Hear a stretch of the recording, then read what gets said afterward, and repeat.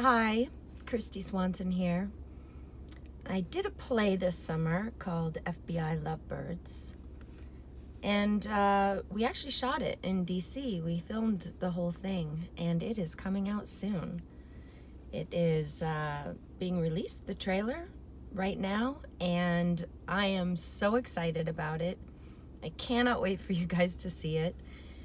It was an incredible experience for me.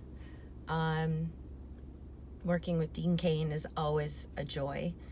Uh, but, you know, it was a lot of work and hard to do. And, uh, you know, I thought I would have a lot of fear, um, you know, performing in front of a live audience because that's not something that I'm very used to.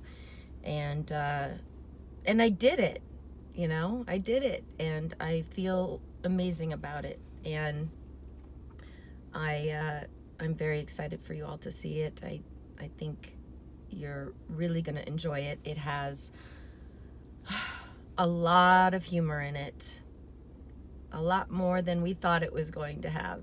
Everyone was um, laughing and clapping and just so excited to uh, to see the play when we were in DC, and it was just such a good experience. So I hope you all enjoy the trailer and look forward to the play coming out very soon.